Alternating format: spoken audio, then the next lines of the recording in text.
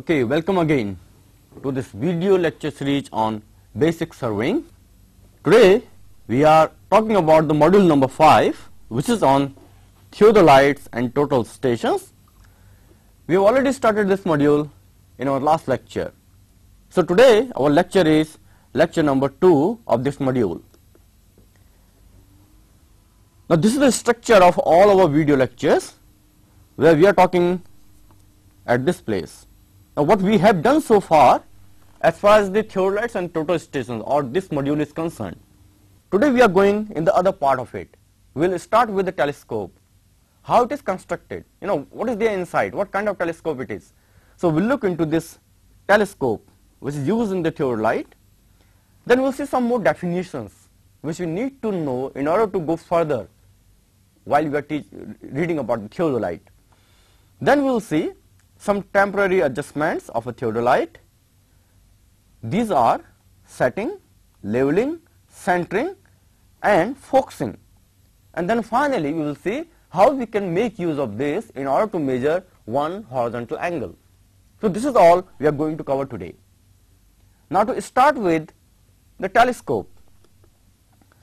What the telescope is? This telescope is Kepler's type telescope. Because you must have done in your physics classes that there are different kinds of telescopes. This is a Kepler's type telescope and as you can see here, now we have seen yesterday in our last lecture also, this is the objective, objective lens, that is the eyepiece here. Now how it functions, the object is somewhere here on this side. The rays from the object are passing through the objective. They are creating an image somewhere inside. Now this image is brought into the within the focal length of this eyepiece or this lens here and this is how the image is generated, the final image which you observe. Now we will see the line diagram of this. So to see the line diagram here in the slide you will see that AB is an object. From this AB that is our telescope and the telescope means this is the objective lens and this is the eyepiece. The rays from the object they will form the image of the object somewhere here. So this is the image of the object A dash B dash for the object A and B. It's a simple line diagram which you know from your basic optics. Now this A dash B dash is placed inside this telescope in such a way that it is within the focal length of eyepiece. Now why is it done? It is done because this is the focal length. This distance is the focal length of eyepiece. It is done in order to ensure. Now what will happen? If it is within the focal length, how the image will be generated? Now these rays will go here. Similarly, they will meet at the focus. Now the rays from here passing through the optical center will go like this and will go like this. Now these rays they do not meet on this side rather they converge or appear to be converging on this side. So finally we will have the image formed here and this is how the image is formed and this is how the image will look like. So for the observer, if the observer is here, he is looking through the eyepiece, what he sees, he looks at A dash, A double dash and B double dash, which is not the real image. It's not the real image. So this is actually the line diagram of Kepler's telescope, which is mostly used in our theodolites. There may be some extra lens, additional lens, which will invert this image. Because at this moment, the image which you are seeing for your ranging rod, you are seeing the ranging rod inverted. Though it doesn't matter for an experienced surveyor, it is alright. He knows that how the image is generated and he knows how to take the observations. But in order to expedite the survey, in order to avoid this kind of confusion, the modern instruments are fitted with some extra optics in between, extra lenses, and they will further turn it and the image will look erected. It will look erected. Now, some definitions here about this Kepler's telescope. Now, some of the terms. Over here, where our imaginary image is being formed, this place we have one additional assembly which we say a diaphragm. Now what is this diaphragm? A diaphragm if I draw it is a glass sheet circular in shape and it will have some wires. Sometimes they are, these are the wires or sometimes these are the on a glass plate some marks etched on it. So for example, this is one example of the glass sheet or glass plate on which some marks are etched. Now this assembly we say diaphragm or cross wire. There may be various kinds of these depending the instrument. Or maybe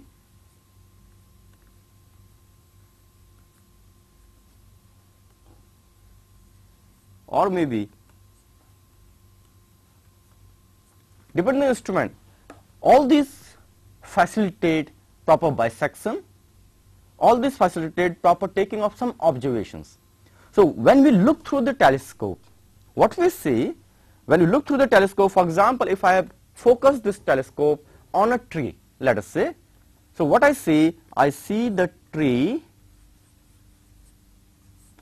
and my telescope is focused on this tree over here. That's the field of view. I cannot see beyond this. I can see only this part. That's the field of view of the telescope. Now in this field of view, I will see my cross wires depending what kind of arrangement is there of the cross wires. Okay, let's say this is the arrangement. So this is how when we look through the telescope, it looks like this. Now here in this case, this particular point, if I, this center of here, this particular point is the center of cross wire. Because this is cross wire and this is center of the cross wire. Whenever we sight through the telescope, our line of sight is defined by this cross wire because we are bisecting anything with the cross wire. You see the cross wire, you see the object and you ensure yes, now this is my line of sight. So the line of sight in the telescope is defined as, as you go here, somewhere here as I was telling you that we have the cross wire or diaphragm. This cross wire is fitted here, over here. So the point center of the cross wire and the center of the objective Joining these two, the line formed is called the line of sight. Okay. Now another definition that is of line of collimation. Now what is this? This is something of the telescope. This is also called axis of telescope. Now what it is? Here a line joining the center of the eyepiece and the center of the objective. If I join these two then the line which I get is the line of collimation or axis of the telescope. Ideally these two lines, the line of sight and line of collimation should be same. This is how the instruments are made, but they may be slightly in error also, they may be not constant. So that's the line of collimation. So we have seen the cross wire, the line of collimation, the line of sight. Well, we go further now. Okay, two more definitions. In those definitions, we may have an external focusing telescope or internal focusing. internal focusing telescope. Now what this is? Now in this case, when I focus the object, what I do, I use the focusing screw here and I see when I sight through the eyepiece, I see the things are focused. Now what is happening basically in the case of the focusing, if you look at the line diagram again, we have the eyepiece, we have the objective. Now the focusing means somewhere here is the cross wire. Okay. Now this cross wire is clearly seen by this eyepiece. This eyepiece is placed at such a distance from the cross wire that we can see the cross wire very distinctly. We will talk about that in a moment. Well, what we want, because this cross wire is our frame of measurement, reference of the measurement. We want to bring the image which is formed from here on the plane of the cross wire. So, we want to bring the image here, this A dash and B dash. And then once this image is magnified, the cross wire is also magnified accordingly.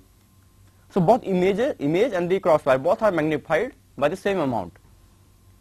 So, focusing this objective means bringing the image which is formed by the objective there at the plane of the cross wire. Now, how can we do it? Let us say the very first image which is being formed is somewhere here, A dash and B dash. Now, we want to bring this image over here, so we want to shift this image by this much distance. So, what we need to do? We need to shift this lens by equal amount. So, this lens needs to move, the objective lens needs to move in order to focus this image on the crosswire plane. Now, how it is ensured? This could be ensured, let us say in one case, we have a telescope where we have two tubes and that is the objective and somewhere here is the eyepiece. Okay? We have a gear a gear mechanism and using this gear mechanism eh, this tube moves inside or outside. So what is happening? Now we are changing the location of the image inside the tube as desired by moving this tube inside or outside so this kind of focusing is called external focusing now in the case of the internal focusing because there are some problems with external focusing what the problems are? Problem is, well, if the center of the instrument is here, now this tube starts moving here and there. So the balance of the instrument will change.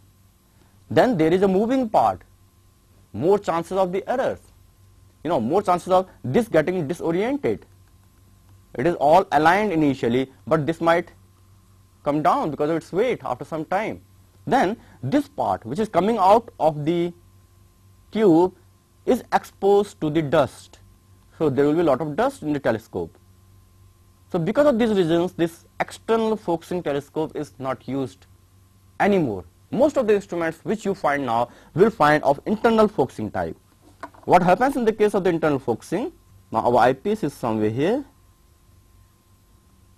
and thus our body of the telescope and at the end of this body is the objective. Now here in this case these two the objective and the eyepiece they are fixed. They are fixed here. Now if it is fixed how to obtain the desire, desirable thing moving this image because there is an image formed by objective A dash and B dash and we want to move this image here and there. How to reach at that? For that there is an extra lens. An extra lens is fitted inside and now there is a gear mechanism and this gear mechanism will move only this lens here and there. So because of the movement of this lens now our image will move here and there. So now what is happening? There is no, uh, no tube coming out of the telescope. So the balance of the telescope is maintained. So as we see in this case, in the case of the theodolite here, if I focus the objective, there is no change in the length of the telescope. So you can now very well guess what kind of telescope it is. There is no change, nothing is coming out of the telescope. So this is internal focusing telescope. Okay, having done this, now we will go for more important thing. No, that is called we want to measure an angle. Angle measurement using a theodolite. What are the steps? What all we need to do when we want to measure the angle using a theodolite? There are various, you know, it looks very simple, but there are so many steps involved and that will control the accuracy of the angle that we'll measure. What are those steps? These steps generally we write as temporary adjustments of a theodolite. What these temporary adjustments are? Well, I will give you a problem. For example, let us say you want to do a traverse and in this traverse you want to you have an EDMI, you are using the EDMI to measure all these lengths. You want to measure all these angles now using the theodolite. Now, in order to measure these angles, if it is A, B, C, D and E, we, have, we already know why we do the traverse, what kind of uses a traverse can be put to. We know, we know that already. Okay, let us say our telescope or sorry our theodolite is at point B over here and we want to measure the angle A, B and C. This angle is required. So what all should we do? And once we have measured the angle at B, we will move our instrument to C in order to measure the angle BCD. So again what all we need to do before we start measuring the angle? Is it not that we can straight away carry the instrument, put it somewhere near the B and start measuring the angle? No we need to do some steps before we can take actually the angle measurement. And those steps which we repeat at each station, B, C, D, A, E, all the stations, these are called the temporary adjustments. Now what these temporary adjustments are, we'll start with number one, setting. Number two will be leveling and number 3 will be centering and number 4 focusing. So what all these are, we will now look into these one by one. Though some of these are dependent on each other. So if you do leveling, we have to do a centering after that. Again after doing centering, we will have to check our leveling. Again after doing our leveling, we'll have to check our centering because they are dependent. Now what all these are and how we proceed with this, this is what we are going to see now. And the problem is we want to measure an angle, let us say A, B and C. This is the angle which we want to measure the horizontal angle. A, B and C. So naturally First what we will do, we will come near to this station B. Now when I say B, you can see the B here in the drawing, but please think of the ground outside your room where, where you are seeing this video lecture. Think of that ground, think of a point at that ground. How that point will be identified? Well, what you have done, because the traverse stations, when we say traverse stations or the survey stations, what do we do mostly? There in the ground, we have decided okay we are going to take a particular point as a traverse station generally we will put either a concrete block and in this concrete block there is an iron nail which marks the center of the station. So in the plan it might look like if this is my concrete block that's the concrete block and there is a nail and the center of that nail is the station. So you can locate that center physically there. All these points, the traverse stations are marked like that on the ground. Or maybe if you are doing a temporary work, what you can do, you can take some paint and using the paint, you can draw some lines there on the ground. Okay, my stations. So these are the lines which mark the point and basically now the job is when you are occupying here you want to put your instrument over these points And this is how you can measure these angles. And this is why we need to do all these temporary adjustments. Now in these temporary adjustments, we'll start with one about the tripod. What we need to do with the tripod. Okay, so here we are. Maybe we are in the field now and we are over that point B at which we have to measure the angle. So the B point is somewhere here in the ground and you know how that B point is marked. That B point is marked like this, maybe you know by paint or maybe on top of that iron nail that we are talking about. So the point is marked there in the ground. Now what my job is, because I need to measure the angle A, B and C, so I want to put my theodolite in such a way that the vertical center or the vertical axis of the theodolite passes through the point there in the ground. Because the center of the theodolite means where when I rotate the theodolite in horizontal, okay, when I rotate it, it is rotating about an axis. That's the point which is the origin about which we are measuring all the angles. So I need to bring that vertical axis of the theodolite over that point. And our theodolite has to be vertical at the same time. The horizontal plate of the theodolite has to be horizontal. So well, I occupy this point. Now when you occupy with this point, you start with a tripod. A tripod as you know, as we can see here, now in this case we can change the length of the legs. We all have the arrangements and by this you can change the length of the legs. The idea is we want to keep the length of the legs or the height of the tripod in such a way that after keeping the theodolite on this, the eyepiece should be at my eye level. So we know approximately, well, that's the height of my theodolite and that's where the eyepiece will be. So this is how I decide about this particular height. The next, what we do, first of all, we center this tripod. How do we center it? We can make use of, if you don't have a plumb bob, you know the plumb bob, if you don't have a plumb bob, I can make use of even a stone. I can drop that stone from the center of the theodolite, whether it drops nearly around that point in the ground or not. If you have a plumb bob, I can suspend this plumb bob like this and it will tell me whether this particular point is exactly over that point or not. So all these things can be ensured.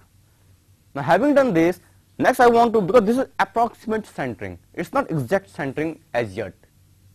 Now to do the exact leveling and centering, what we are going to do, then I observe the head of the tripod. That's the tripod head. I want to ensure that this tripod head is level because this is required. I will put my instrument on top of this. I will need to make my instrument horizontal. The what the horizontal plate of the instrument should be horizontal. So before I do it in the instrument, I should ensure that my tripod head is horizontal. So how do we ensure it? It's by visual examination. Now there are two movements of the tripod legs. One, I can move the tripod leg circumferentially. Basically, when I move it circumferentially, what happens? It will change the leveling. It will not change the centering. So if I move it circumferentially like this, generally the centering of the tripod will not change much, while the tripod head will change its leveling. So I can do it for any of the three legs depending the requirement. Or maybe I can shift the tripod leg radially outward. Now when I shift it radially outward, what happens in that case? In this case, the leveling of the instrument will not change much or the leveling of the tripod head will not change much while the centering will change. So what is our aim when you are working with this tripod? Our aim is we want to approximately center it, approximately level it and by using these legs, the movement of the legs, I gave you two movements, radial and this sorry radial movement and the circumferential movement. By doing this, also maybe at times by changing the length, you want to change the length of this leg a little bit instead of giving it a radial movement. So you can do that. So oh, finally what we will achieve, we will achieve our tripod is approximately leveled is eye judgment. Just by eye judgment you can ensure it. Or and as well as it is also approximately centered over that point. Now at that stage we'll bring our theodolite and put it on top of this. So one more thing here in the tripod head which is important is if I show you like this we have a move an assembly which can move. So once I bring my theodolite I can put my theodolite in such a way that it goes into this bolt. So this is the bolt for the theodolite. Now I can bolt it into the theodolite bottom. Now having done that, to do some fine centering of the theodolite, we use this and this assembly is called centering head. So I can move it like this and just relax it and move it like this and that will do my leveling or sorry centering very accurately. So this is the centering head. So we make use of this centering head. The theodolite is put, just rotation of this and fine centering is achieved. So we'll talk about this again later on. Okay, now our theodolite is on top of the tripod. We fit it. Now what is next? Next step is leveling. Leveling of theodolite because so far our tripod head is leveled and centered.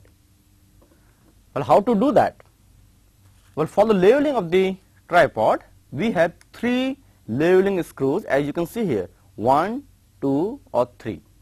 And these are also called foot screws. Now, how do we level it and what is the purpose of it? Purpose of the leveling. The purpose of leveling is we have the horizontal plate here. You know the horizontal plate and on this horizontal plate using the index we are measuring the angles as we have seen. We want to make this horizontal plate truly horizontal. Why, why we want to do it?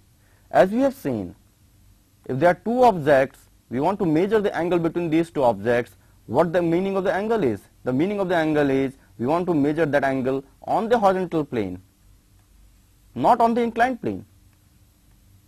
So, if there are two objects here, for this theodolite, one here, one here, the theodolite may bisect like this and bisect like this. We are interested in the corresponding angle at the horizontal plane, the projected angle on the horizontal plane.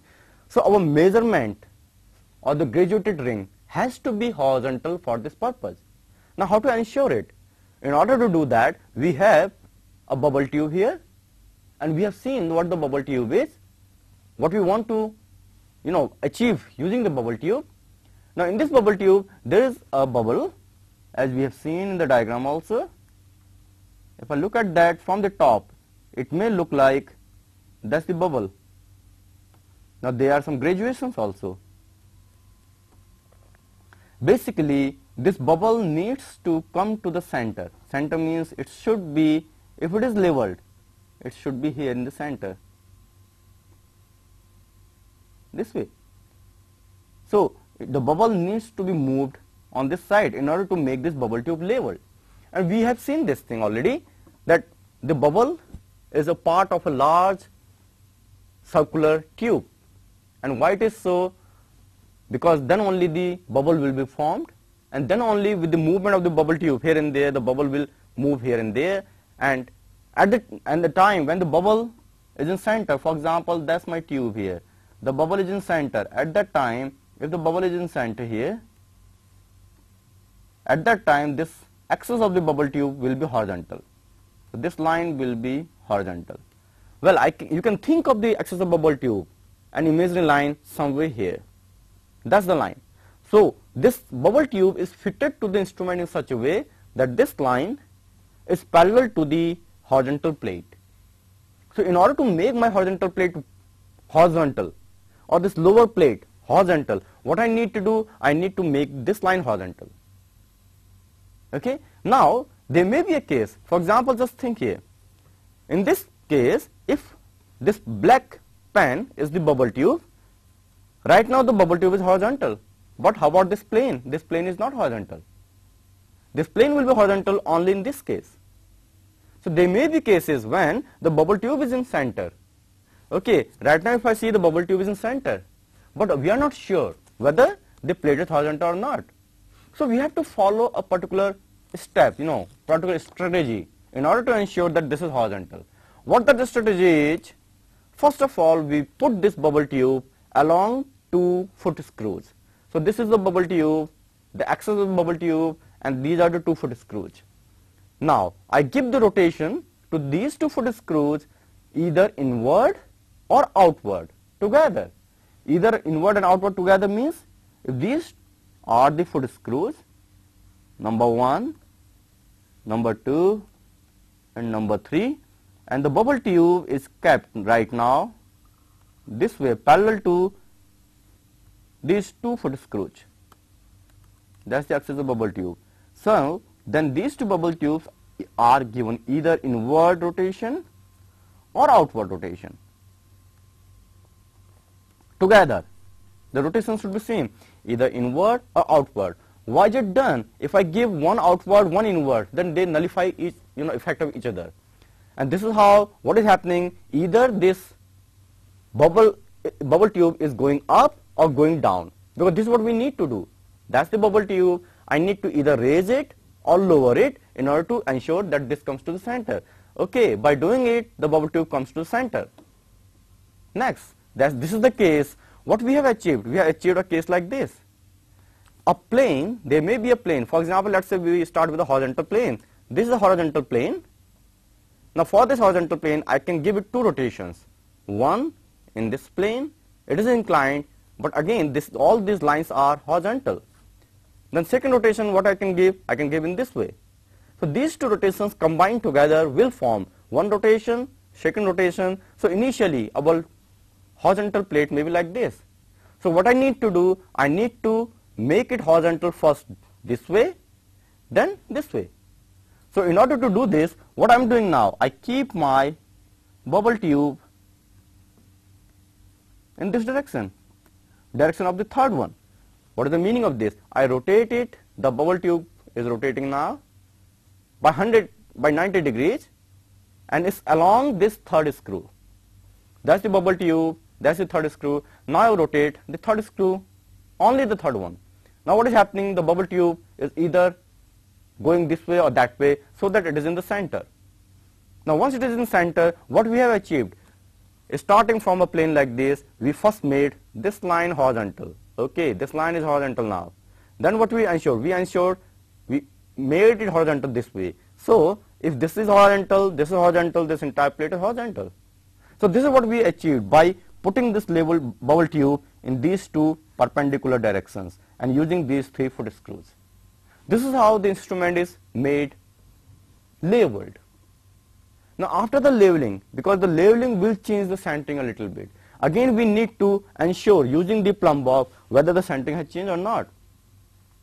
And we again need to center it correctly. So we'll make use of the centering head as we saw in the tripod. Okay, after doing this leveling, as we are saying that we will center it again.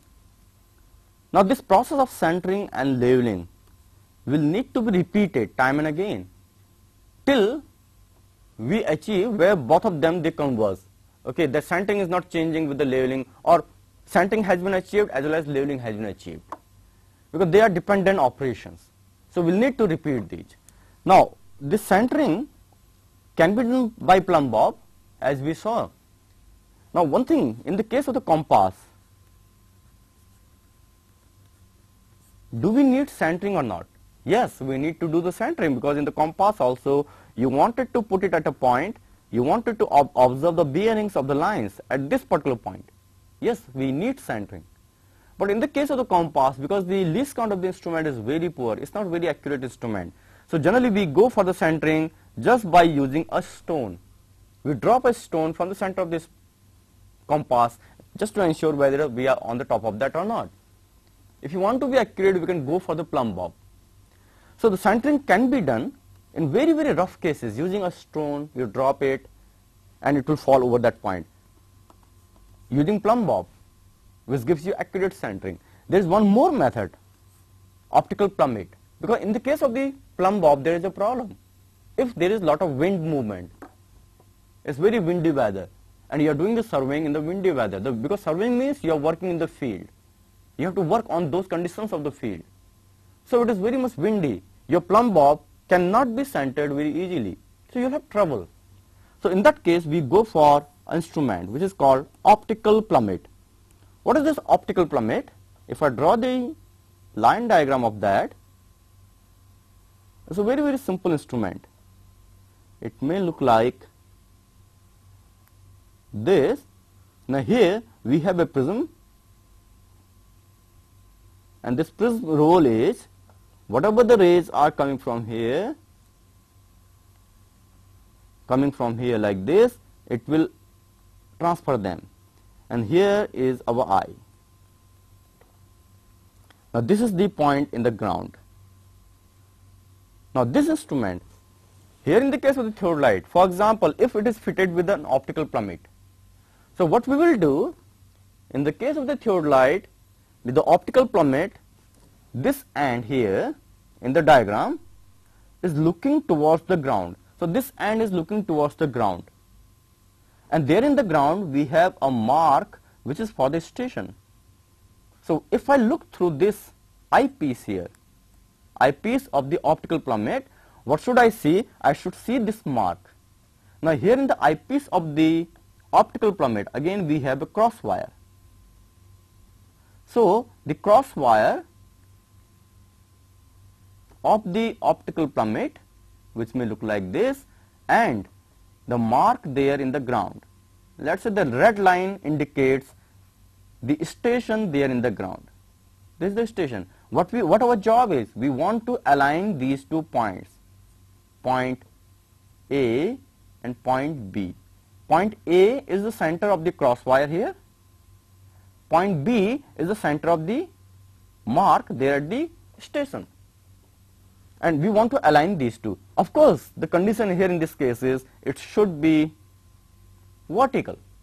So, if it is vertical along the gravity and if it is horizontal, because this optical plummet is fitted to the instrument in such a way, it is horizontal, so this is vertical and if it is just exactly over this point and we see these two A and B aligned, so our instrument will be centered. Also, this vertical axis of the optical plummet is also the vertical axis of the theodolite. Because now you can see the vertical axis. The axis about which I am rotating my theodolite is the vertical axis of the theodolite, which you can think of as if passing like this. Somewhere here, a line can be thought about. That's the vertical axis about which it is rotating. So we want to ensure it is there. So this optical plummet will help us to center the instrument even if it is windy condition it does not matter because it is making use of the just line of sight or the electromagnetic radiations. Now having seen this our next some more adjustments which are related to the focusing. What we have achieved so far? Well, our problem was we wanted to measure angle A, B and C. And we arrived at this B, we kept our tripod. And after keeping our tripod we centered it, we leveled it approximately, then we put our theodolite on the tripod, we clamped the theodolite with the tripod. And then we leveled the theodolite and then we centered the theodolite also using precise centering using centering head of the tripod. And then once it is finally centered and as well as leveled we are ready to take the observations.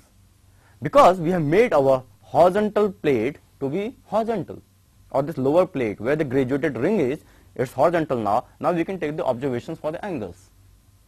Well what will be the next step? Next step will be well for example let us say this B point is where where I am standing, A is somewhere in this room on that side and the C is somewhere in this room on this side.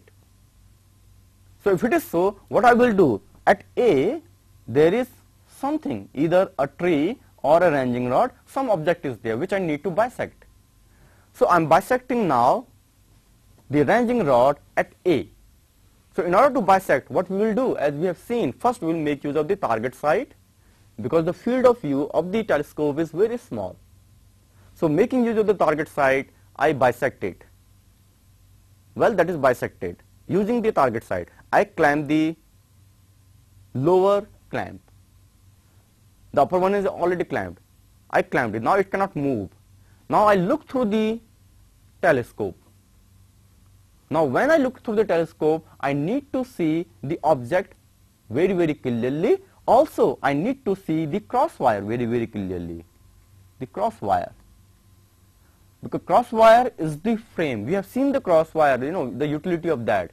Because the cross wire as such is somewhere here. The diaphragm is fitted here. The cross wire is fitted here, somewhere here. Now what I need to do, I need to see this cross wire very very distinctly. Why? Because the image of the objective, we frame, we form it on the plane of the cross wire. If I can see the cross wire very distinctly, I will see the image very distinctly.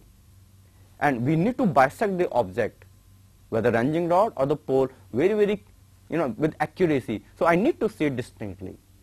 So the very first in step in the focusing is we need to focus for cross wire and that we also say focusing eyepiece. Now how do we focus the eyepiece? Well to focus the eyepiece what we can do we can make use of a white sheet. I put it in front of the telescope or you can turn this telescope towards the sky or any white background where we can see the cross wires very distinctly. Well, once it is so, I now focus the eyepiece. And this eyepiece needs to be focused because it will depend upon my eye. So if someone else is working, he will again needs to focus it so that we can see the crosswire very distinctly. Once I have focused this eyepiece for my eyes, so I can see the crosswire very very distinctly, what will the next job? The next job will be focusing the objective.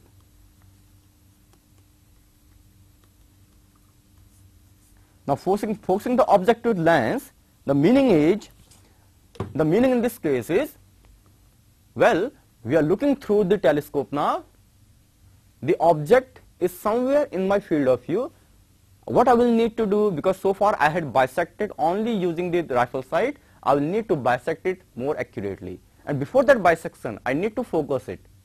So I will focus using the objective focusing screw. So when I am using it, what is happening? There inside the telescope an extra lens which is, is moving here inside. So that it is ensuring the image which is being formed inside this telescope of the object will finally form on the plane of the crosswire. Because I can see the crosswire distinctly, I will also see the image of the object distinctly now. So this is what is achieved by focusing the objective. That image is formed here in the plane of the crosswire. So I will start seeing now the image very very distinctly, no fuzziness in that. And at that moment now I will rotate my tangent screw of the horizontal plate here as per the requirement to bisect that particular ranging rod exactly. So these are the steps. All these steps we need to do. Focusing the eyepiece, focusing the objective and then final bisection. So once I have finally bisected that particular point, I can see the readings here. Okay, what all these readings are. Then I change the upper plate, lower is clamped, we will talk about that in a moment. Lower is clamped, I change the upper one, same procedure we need to do for this also. I don't need to focus the eyepiece anymore because it's the same user who is working with the instrument. But I will need to focus for the object because the object distance may be different, shorter or longer than the object at A. So again I focus for this particular object and then after focusing it I bisect it very correct you know precisely using the tangent screws and now I am ready to take the readings in these two verniers again reading A and one, these two verniers. So what it will give me? It will give me the angle value here in the horizontal.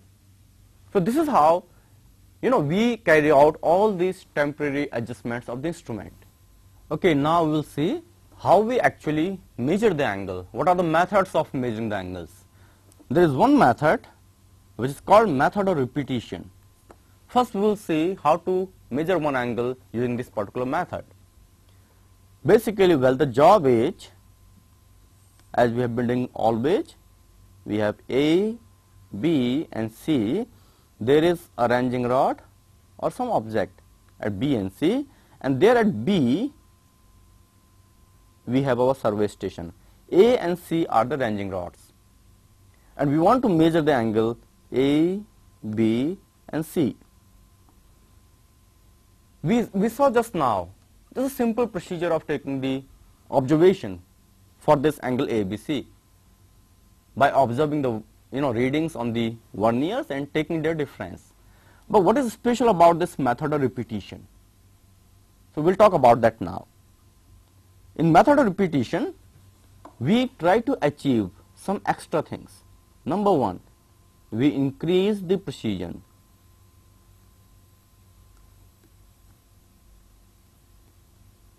What is the meaning of that? The meaning is if our theodolite is 20 second theodolite, the least count is 20 second. We improve the precision. We try to increase this further down, you know, maybe 10 second, 5 second, that kind of, you know, we increase the precision by this particular method. Number two, we also eliminate some errors which are in the theodolite. We'll talk about these errors in detail later on. But one error, for example, let us say if this is our graduated circle, graduated circle, if you are talking of the horizontal one, the lower one, that's the lower one and the graduated circle of this. Now ideally speaking, the graduated circles should be graduated in a very uniform way. Uniform means all these graduations should be equally apart. That means if it is 90, sorry 0, this is 90, this is 180, and this is 270 and so on. And also the graduations in between should be uniform. But if it is not the case, which might be so because this plate is manufactured somewhere, then in the manufacturing process there were some defects and because of that what has happened now, this 90 instead of being here, the 0 is here, the 90 is somewhere here. I am just exaggerating it. But let us say if this is the case, this 180 is here itself. There is no change in the 180. So the meaning is the graduations from 0 to 90 are far apart. They are larger. While the graduations from 90 to 180, they are nearer to each other. So if you are measuring only once, as we did the process here, we bisected our ranging rod A, I took the reading, then I bisected the ranging rod B, or at C I took the reading. Now if in between we are only observing from 0 to 90 here, what will happen? Let us say the angle which was measured was this. So the actual angle value is if 21 degrees, what will measure it? We'll observe it in the theodolite slightly less than that. Let's say 20 which is less than 21. Why? Because these graduations are far apart. Similarly, in this part, if we are observing, we will be observing a smaller angle to be larger. So this might happen. So we will try to also, you know, besides increasing the precision in the method of repetition, we can also eliminate a problem like this while we are going for method of repetition. Now how we do it and how we write the readings, right, what we do in that particular process, we'll do it using this particular table here. And before the table, I would like to give you two more definitions. The definition one, number one is face left observations and the second is face right. What these terms are? Okay, for me, I'm here right now. That's the vertical circle. We know this is the vertical circle. Okay, and if this vertical circle is on my left, and now observations, all the observations which I'm taking are called face left observations. How to turn it into face right? I can transit my theodolite. Now for me to take the observations, I'll have to bring the eyepiece towards me. So the eyepiece is towards me. Now this face has turned towards my right hand side. So all the angle observations which I will take now are called face right observations. Now it is very clear why we need to do it. We'll see later on. There in the theodolite there are many sources of the errors. If you are taking the face right observations, I am measuring couple of angles. Then I change it. I change the face to face right. Then I face left and now I observe the same angles again and by taking the mean of those two angles we can eliminate several errors which are there in the theodolite. So this we will see later on when we are talking about the errors in the theodolite. So right now we will take it like this, face left, left observations and face right observations. Okay, so the table which I have made here is for face left right now. As you can see here, face left observations. Now what we do in the method of repetition, we'll follow it here in the table as well as with the instrument. And please follow each and every step what I am doing. Well, as we had seen, we had to measure the angle A, B and C and we are at point B, A is there and C is there. Okay. So, very first step, right now you have to follow with me what I am doing, you have to imagine that, what is happening in the instrument because we have already discussed the construction of the instrument. Okay, I clamp the lower one, lower one is clamped, I unclamp the upper one. Now I can rotate my instrument. What do you think? The readings are changing or not? If I look through it, yes, they are changing because what is happening there now? The lower one is clamped, upper one is free to rotate, and if I am rotating my telescope, it rotates like this. So the readings, what the readings are? These in verniers, they are moving on the graduated circle, and we take the reading, we observe, we read the angles against these verniers because they are moving so the angle values are changing there. So right now this is lower is clamped, upper is free to rotate so the readings are changing. Okay, what I do, I change the readings looking through the window here and I bring it nearly to the 0, 0, 0. What is the meaning? The 0 of vernier and the 0 of main plate, they meet each other. So now at this stage, they nearly meet each other and I clamp the lower one sorry clamp the upper one. Lower one is already clamped I have clamped the upper one. Now I look through the eyepiece. I will see a magnified view of the scales here. Then I use the upper tangent. And by using the upper tangent over here I am using the upper tangent. What I am doing I am giving very slight movement to the index arm or this verniers in order to ensure that the reading is, reading is exactly 0, 0, 0. Well, the, the reading is here is 0, 0, 0. This is vernier A and this is vernier B because there are two verniers, 1, 2. So, the reading at A is 0, 0, 0. Over here the reading will be 180.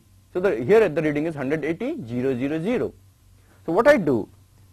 My reading now is 180, sorry 0, 0, 0. When I say 0, 0, 0, I mean 0 degree, 0 minutes and 0 seconds. Now, what I am doing, I am releasing the lower one and I take it to my point A. Now, point A is bisected. Let us say I have bisected roughly using the sight. I clamp the lower one. The lower one is clamped. I use the tangent screw of the lower one in order to bisect A correctly. Okay, that is now bisected. Now, in this process, because the upper one was already clamped so the, these two plates they move together. So there is no change in the reading. A is bisected still the reading is 0 0 0 so what i do instrument at the very first thing here is instrument at we know we have kept the instrument at b. We have sighted a sight to a and the readings at that point were 0 0 0 and here this is for vernier a and this for vernier B. In vernier A and vernier B. In vernier B, we write only in minutes and seconds. So it is 0 and 0. If it is not 0, 0, whatever the readings will be, we will write that. But there might be some case where it will be so. Why we don't write in degrees? Because generally, they will not differ in degrees. If it is 0, it will be 180, generally speaking. So only difference will be in minutes and seconds. So that's why we need to write it this way and then we can compute the average which will be 0, 0, 0. Next, now my B is somewhere here. So what I do, I release the upper one. upper clamp is re released and I rotate it to B. What is happening now? In this case, if the upper clamp is released, only the vernier will rotate. While I am rotating this telescope, only the vernier will rotate and the angle value will change. So if this angle is theta, it has moved by theta, I clamp the upper one, then I sighting through the eyepiece, I sight the C, that the C is there and I use the tangent screw to sight it or bisect it accurately. Now there will be some reading. So this reading will be equal to theta. So I have sighted C and I can write the observations here. But we are doing the repetition so we will not write the observations. You can record it of course, there is no problem. So the reading here in the scale at the moment is equal to the angle here. Now what next we do? We release the lower plate. See the upper, upper one is clamped, I am releasing the lower one. Releasing the lower one means if I rotate now, both these plates will rotate together. And what is the angle value? The angle value is theta. The reading which is being seen here is the theta. Because it's not changing anymore.